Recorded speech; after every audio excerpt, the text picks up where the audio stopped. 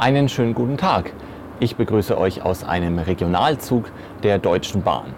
Hier gibt es einen Großraumbereich mit Zweiersitzreihen, Vierersitzgruppen, Mehrzweckbereiche mit Klappsitzen und dazwischen noch ein paar Toiletten. Ja, und mit diesen Bereichen sind fast alle Regionalzüge in Deutschland ausgestattet. Nicht mehr, aber auch nicht weniger. Und aktuell reicht das auch völlig aus. Denn die Bahn bietet nämlich gegenüber dem Auto den ganz klaren Vorteil, dass man zwei Dinge auf einmal machen kann. Erstens, man kommt von A nach B und zweitens, ja, man kann währenddessen noch ein bisschen sich ausruhen, ein gutes Buch lesen oder auch mit ein paar Einschränkungen arbeiten. Aber was ist, wenn Autos mal autonom fahren? Dann bietet ja auch das Auto genau all diese Vorteile, die ich eben gerade beschrieben habe. Und zudem bietet ja das Auto immer den Vorteil, dass man umsteigefrei von Haustür zu Haustür kommt. Das heißt also, aus individueller Sicht wäre es gerade bei regionalen Verbindungen immer vorteilhafter, mit dem Auto zu fahren. Aus gesamt volkswirtschaftlicher Sicht wäre das angesichts vieler ungenutzter Schienen und vieler völlig abgenutzter Straßen eine komplette Katastrophe. Und damit auch noch in 50 Jahren möglichst viele Leute mit Regionalzügen fahren, hat sich die Deutsche Bahn ein Konzept überlegt, das das Bahnfahren gegenüber dem Autofahren wieder richtig attraktiv machen soll. Und dieses Konzept heißt Ideenzug. Und diesen Ideenzug, den schauen wir uns jetzt mal gemeinsam an. Viel Spaß! Der Ideenzug ist noch kein richtiger Zug auf Schienen, sondern ein 1 zu 1 Modell von einem Doppelstockwagen mit 22 Modulen, in das alle entwickelten Ideen eingebaut wurden. Ausgestellt war das Modell vom 18. bis 23. September 2018 vor der Innotrans in Berlin. Und jetzt gehen wir dann auch endlich mal rein. Im Eingangsbereich sind Monitore über den Türen und neben den Türen angebracht, die Informationen zur Fahrt, Umsteigebeziehungen, Orientierung an größeren Bahnhöfen sowie einen Überblick über den Aufbau des Zuges geben sollen.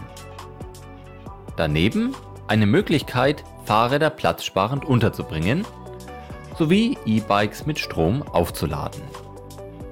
Weiter geht es mit Angeboten für Fahrgäste, die auch während der Fahrt sich bewegen wollen. In der Fitnesskabine können verschiedene sportliche Übungen durchgeführt werden.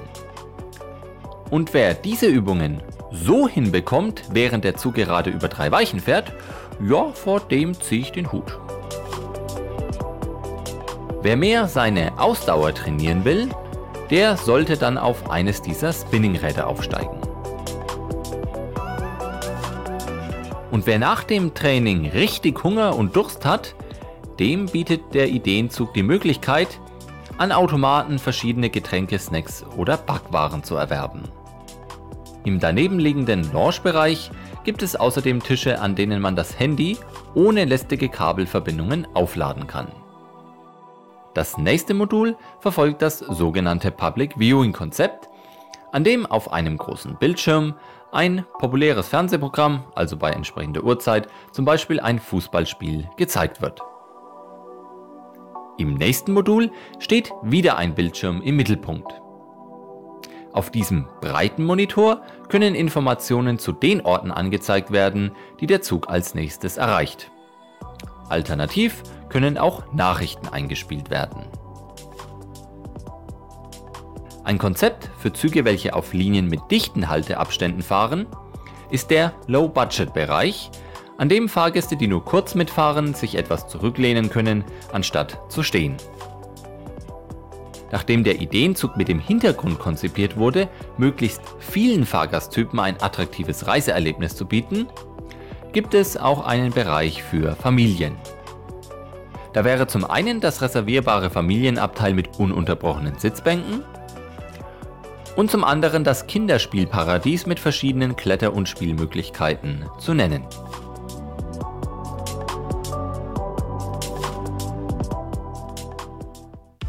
Wenn die Kinder dann groß werden, werden Computerspiele sicher auch interessant.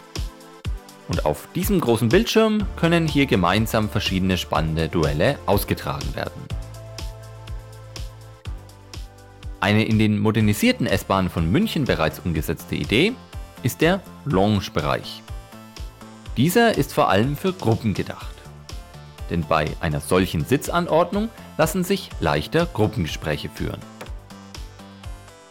Um die sonst starr vorgegebene Zweiersitz-Reihen- und Vierersitz-Gruppenbestuhlung aufzulösen und an die Bedürfnisse der Fahrgäste anzupassen, wurden im Komfortbereich Sitze mit umklappbarer Rückenlehne eingebaut. So kann man zum Beispiel auch dann immer in Fahrtrichtung sitzen. Eine Idee, die es früher bereits mal in Schienenbussen gab. Für Reisende, die ganz in Ruhe die vorbeirauschende Landschaft genießen möchten, sind diese drehbaren Panoramasessel mit schalldämpfenden Blenden entwickelt worden. Wer so verspannt ist, dass er nicht mehr aufrecht dasitzen möchte, kann sich erstmal in einem Massagesessel mit Blick auf eine Mooswand entspannen. Wer aber von der Arbeit so geschafft ist, dass selbst das zu anstrengend ist, beziehungsweise wer in der Früh noch nicht ganz ausgeschlafen ist, der kann im Powernapping-Bereich noch einmal Kraft und Ruhe bei einem kurzen Schlaf tanken. Ein Tipp noch für Langschläfer wie mich, besser mal einen Wecker stellen. Und hier sehen wir nun die Weiterentwicklung der ersten Klasse, die sogenannte Premium Class. Sie bietet verstellbare Ledersessel mit ausfahrbarem Sichtschutz. Für Kunden der Premium-Klasse soll es dann auch einen extra Getränkeautomaten geben. Der Genuss eines frisch gebrühten Kaffees führt dann auch sicher dazu, dass man wieder konzentriert arbeiten kann. Und das geht besonders gut im Einzelabteil mit dem Namen My Cabin. In diesem kleinen Büro lassen sich dank der Abteiltüre auch vertrauliche Gespräche führen. Für alle Module wurden im Übrigen auch passende Beleuchtungskonzepte entwickelt. Abschließend noch ein paar Anmerkungen zum Ideenzug. Um die Benutzung von Modulen wie der Fitnesskabine, Powernap, Massagesessel oder MyCabin zu regeln, sollen extra Reservierungsbuchungen nötig sein. Außerdem wird exakt genau so wie dieses Modell kein einziger Waggon der Deutschen Bahn ausgestattet werden. Die einzelnen Konzepte werden eher auf verschiedene Wagen verteilt werden, beziehungsweise auch nur in Abhängigkeit vom jeweiligen Einsatzgebiet der Züge eingebaut werden. Soll ganz einfach heißen, Massagesessel werden in Regionalexpresszüge eingebaut, aber in S-Bahnen eher nicht. Entwickelt wurde der Ideenzug im Übrigen ein halbes Jahr lang von der Südostbayernbahn, dem Innovationslabor der Deutschen Bahn D-Lab, der Designagentur Neomind, den Produktinnovations- und IT-Abteilungen der DB Regio und der Bayerischen Eisenbahngesellschaft sowie in Zusammenarbeit auch mit Testkunden von Agenturen. An der Realisierung des Ideenzuges haben insgesamt 30 Unternehmen mitgewirkt.